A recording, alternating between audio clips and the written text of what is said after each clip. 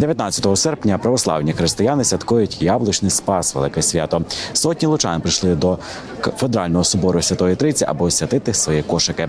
Редакція телеканалу конкурентів також прийшла освячувати і свої кошики. Людей на площі перед храмом чимало. Довжелезна черга тягнулася від самого проспекту Волі. Біля собору традиційно волиняни продавали кошики та уже що потрібно покласти до кошика. А у соборі владика Михаїл завершив цяткову службу, вийшовши до лучан освячувати кошики. Всіх поздравляю! Спаси вас, Господи!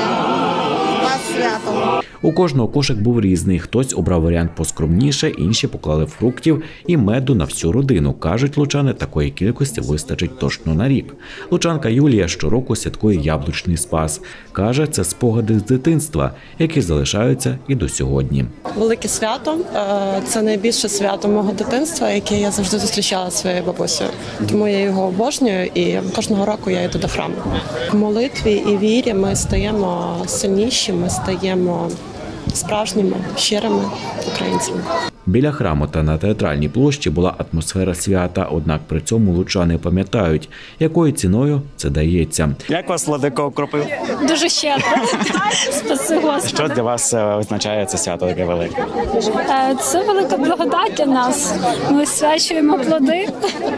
Ось Що в кошику сьогодні у вас? Все як належить, так? все є. Медок, Все є. виноград. Мед не освятили в понеділок, тому прийшли сьогодні освячувати.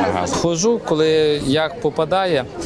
Е, Свято, звісно, дуже добре, але ви знаєте, що в країні війна, але треба з цим миритися, треба е, думкою думати, що все буде добре. Тому, окрім освячення кошиків, люди молилися за здоров'я воїнів та перемогу України над російськими окупантами.